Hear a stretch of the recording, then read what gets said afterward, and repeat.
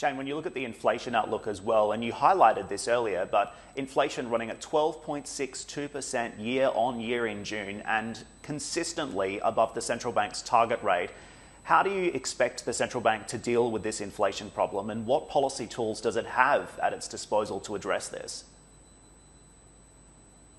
Uh, well, as you know, and as you mentioned as, uh, as well, uh, the central bank has been uh, lowering the, uh, the, the, the rate uh, for some time now. Now they always have the option, obviously, technically, to stop that and you know maybe increase the rates a bit.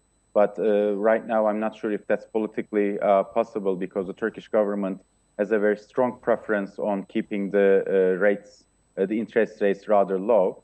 Uh, but as I said, uh, going forward, Turkey doesn't have the kind of reserves uh, Uh, to keep uh, the, the value of its of, of, its currency, and the central bank is rather politically in a difficult position uh, to to reverse the interest rates and you know start increasing it. So I'm quite curious myself to see how the central bank move forward in the coming months.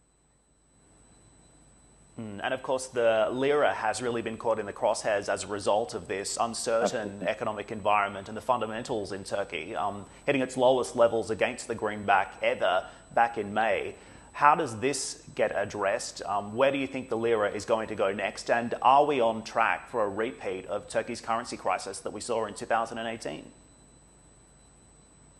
Well, unfortunately, there are clearly uh, signs uh, that give possibility to such an uh, outcome, uh, but uh, it feels like the Turkish lira is uh, overvalued uh, at the moment, and the rising, the potential of uh, a rising inflation and the lack of reserves to actually, you know, balance this, and you know, add to this the increasing, you know, foreign-denominated debt.